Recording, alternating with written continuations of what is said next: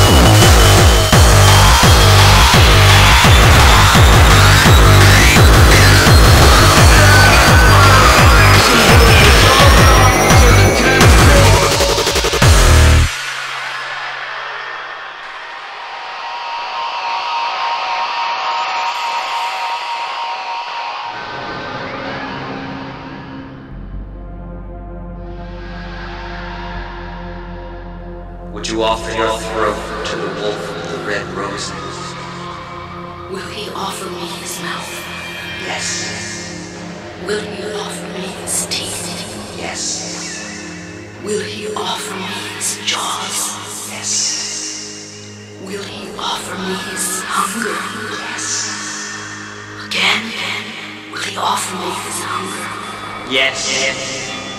And will he